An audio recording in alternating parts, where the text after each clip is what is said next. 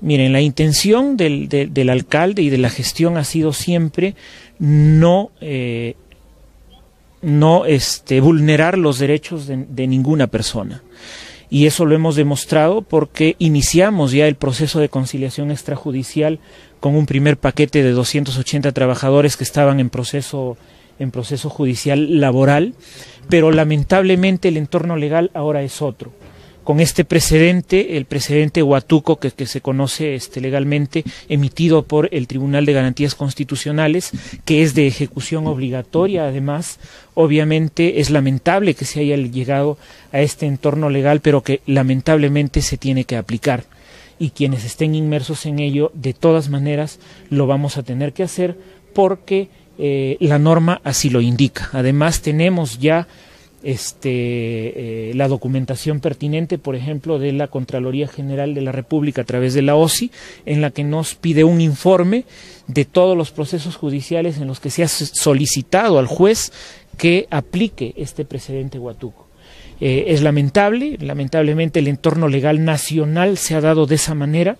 Yo entiendo la posición de los trabajadores, pero obviamente de acuerdo también a este entorno legal, hay tres requisitos fundamentales para que eh, un trabajador permanezca dentro del sector público, que es que la plaza exista y que esté presupuestada y vacante además y que haya entrado por concurso público o por meritocracia de acuerdo a una promoción interna. Obviamente como, como aplicación de, de, este precedente, muchas plazas van a quedar en esa condición, van a quedar vacantes, presupuestadas y listas para la promoción interna o para un proceso de selección a través de un concurso público. Lo que pasa es que ese es un entorno legal nacional que no depende del alcalde.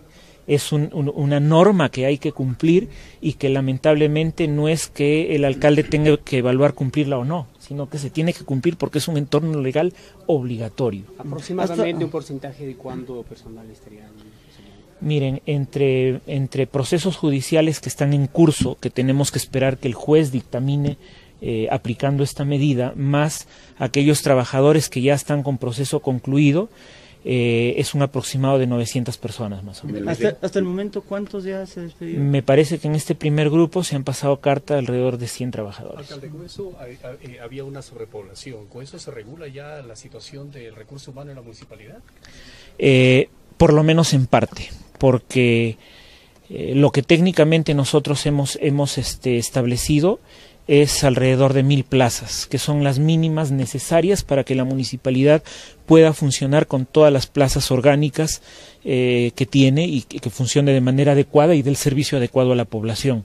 Actualmente hay cerca de 2.800 trabajadores, entonces estaríamos hablando de un excedente de 1.800 trabajadores, pero que también debemos de recordar que dentro de este supuesto excedente, y digo, supuesto, hay muchos trabajadores también que están contratados por obras específicas. Hay obras que se tienen en ejecución, pero que son trabajadores eh, temporales, ¿no? temporales mientras dure la ejecución de la obra. Felizmente que ahora con este precedente ya los contratos 728 bajo los cuales están este, inmersos estos trabajadores eh, en obras, este, ya no se pueden desnaturalizar en el sector público en este supuesto de que todo servidor público debe de ingresar a través de concurso público y en plaza vacante y presupuestada. Alcalde, ¿de cuánto hablamos en la planilla gasto ordinario si hablamos de esa cantidad grande de trabajadores? Sí, la, la, la meta es disminuir nuestra planilla de 75 millones al año, que es en la actualidad, eh, reducirla a poco más de 45. 75 millones por año.